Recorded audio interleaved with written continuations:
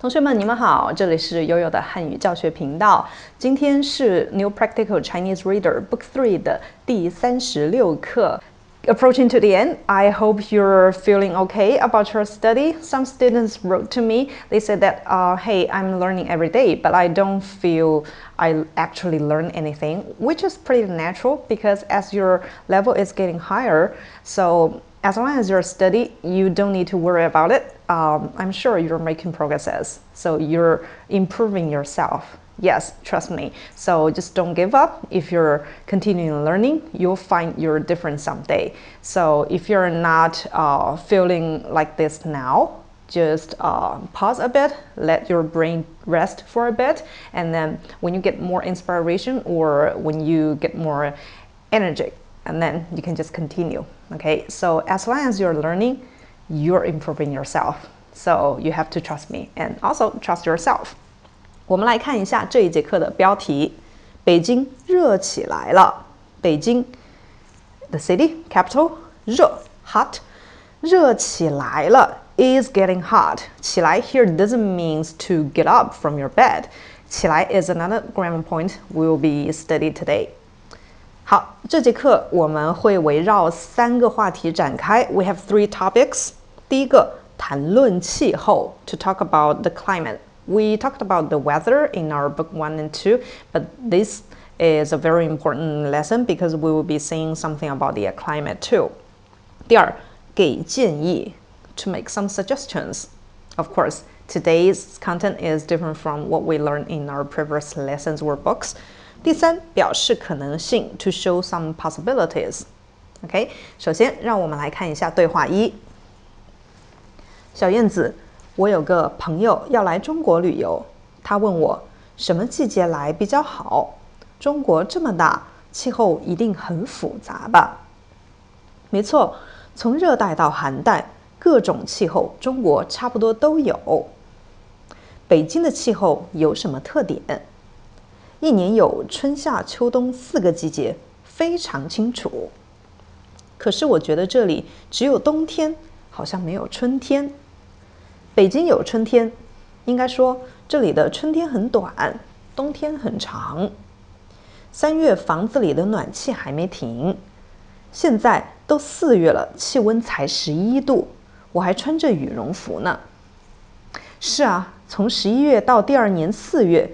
北京天气都很冷，常常刮大风，有时候还下雪。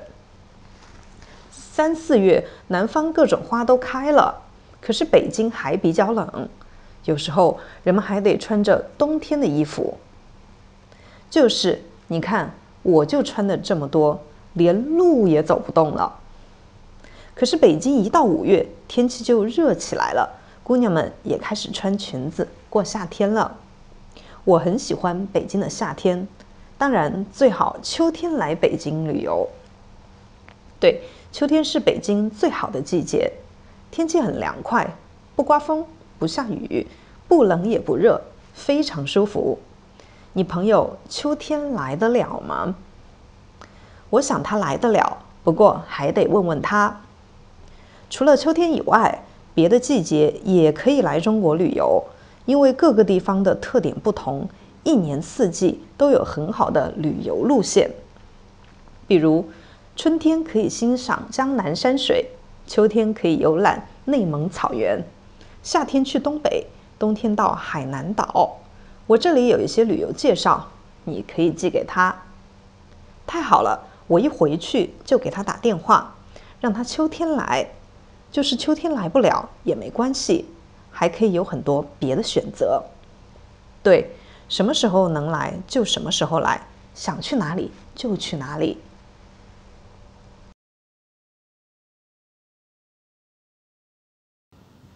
小燕子，我有个朋友要来中国旅游，他问我什么季节来比较好。中国这么大，气候一定很复杂吧？什么季节？你也可以说哪个季节。意思是 which season，季节的意思是 season。Before 比较好，we can either put a sentence or phrase，意思是 it's better to do something。我们看课文中的例子， 什么季节来比较好？So which season is it better for people to come here？再来看一个例句，哪一个方案 我们用比较好？哪一个方案意思是 which plan？Which plan is better for us to use？没错，从热带到寒带，各种气候，中国差不多都有。没错，或者是对。Either of these two is used when you agree with what the speaker had just said. So usually we don't use that to answer yes, I do, no, I don't, but we use it to uh, express our agreement of our previous speakers. 各种气候，好的，各 classifier now and usually with do means all kinds or all types of something. Usually means no exceptions, and do is needed if verbs are put after the noun. 我们来看课文中的例子，各种气候，all kinds of climates，中国基本上都有，China has almost all of them。再来看一个例子，各种方法我们都试过了。或者你也可以说，我们试过了各种方法。These two sentences mean the same. 各种方法 means all kinds of method or solutions or ways. We tried them all. But the first sentence it has an extra do, this character, because in the first sentence, do is needed.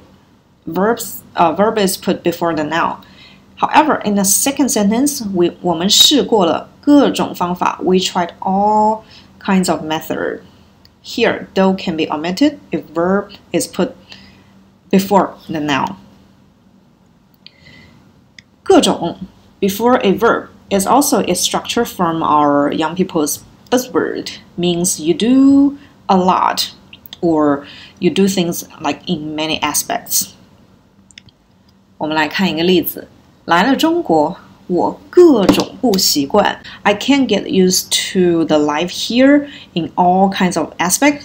So, 各种 here uh, doesn't means uh, like uh, you have all kinds of something. It's just uh, you can't get used to anything here. You can't get used to a lot of things here. This is what this sentence mean.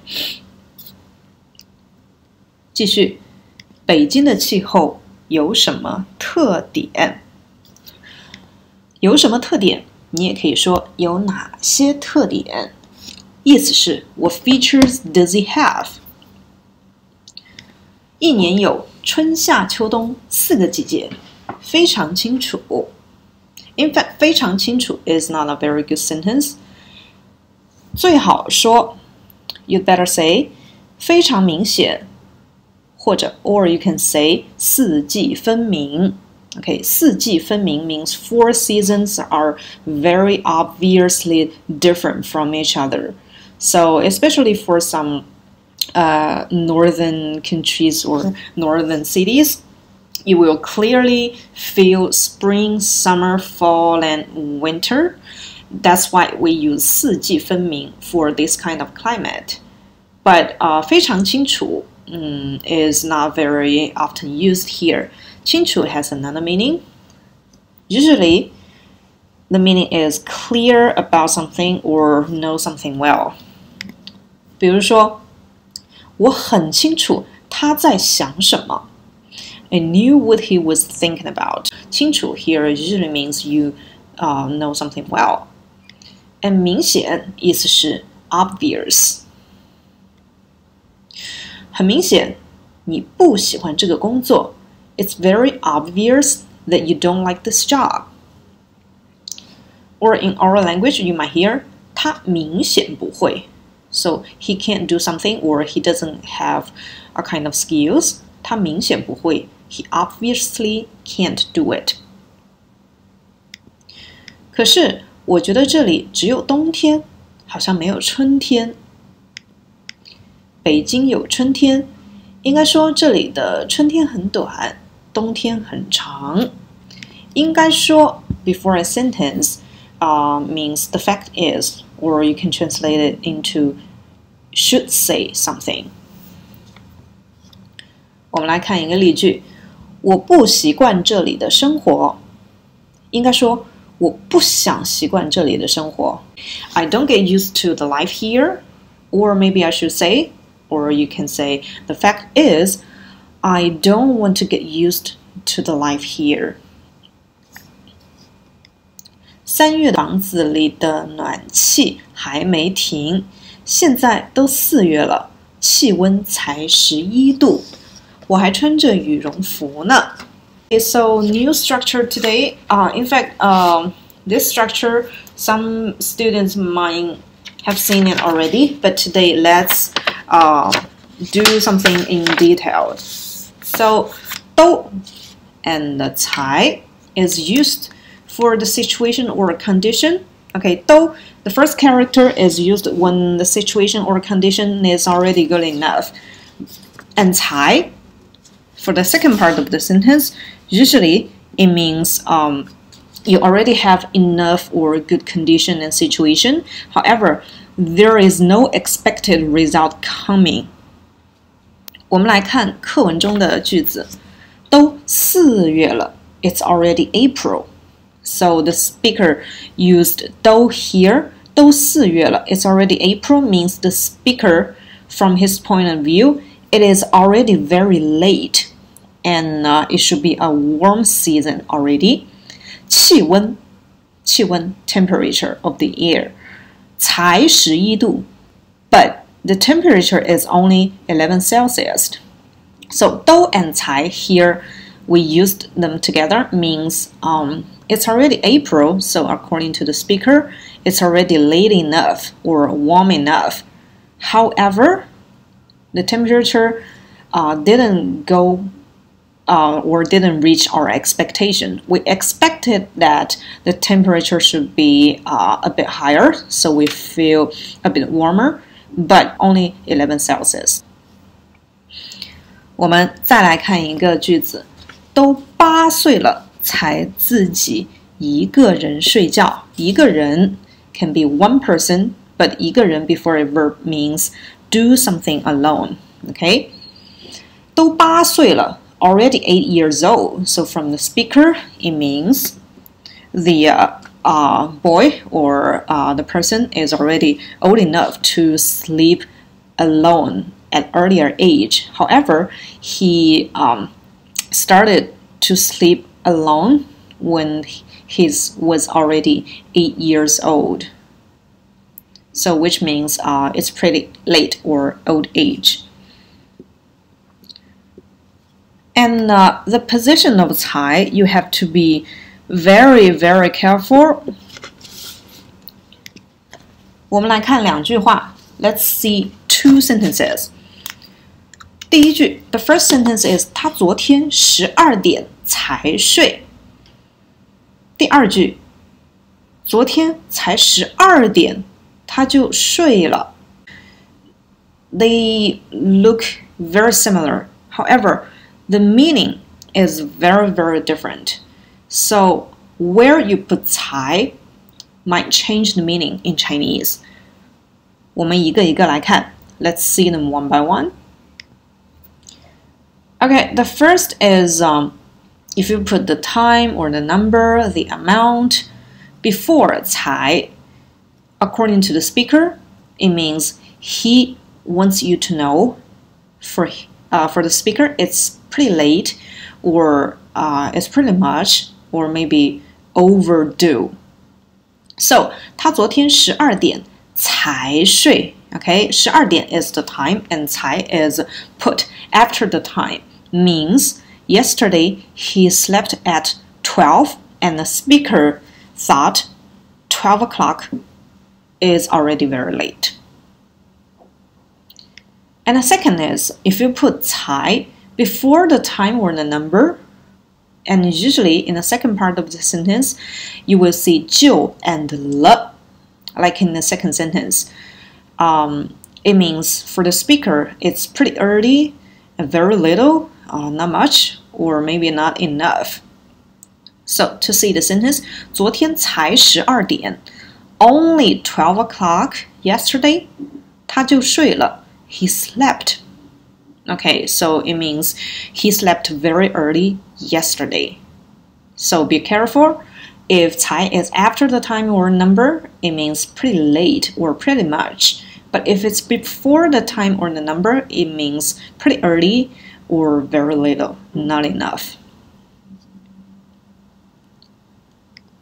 我们一起来练习一下。We have five questions. The first three questions are uh, translation. 请把前三句话翻译成中文。最后两个是选择题。The other two are uh, the incomplete sentences with 才就 了，and sometimes uh, maybe you may leave it blank. Okay, so question four is uh, according to the speaker, it's already very late. But the fifth question is um, according to the speaker, it's still pretty early. 好。